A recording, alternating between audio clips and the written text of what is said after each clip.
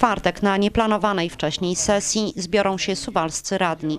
Posiedzenie będzie zdominowane tematami dotyczącymi nauczycielskich wynagrodzeń. Radni pochylą się nad uchwałą w sprawie zasad rozliczania i obniżania tygodniowego, obowiązkowego wymiaru godzin zajęć nauczycielom, w tym zajmującym stanowiska kierownicze oraz tygodniowego, obowiązkowego wymiaru zajęć niektórych nauczycieli. Kolejną sprawą poddaną pod obrady będą kryteria i tryb przyznawania nauczycielom nagród ze środków specjalnego funduszu. Podczas czwartkowej sesji zostanie także rozpatrzony projekt uchwały dotyczącej przyjęcia regulaminu wynagradzania nauczycieli pracujących w szkołach i przedszkolach prowadzonych przez nasze miasto.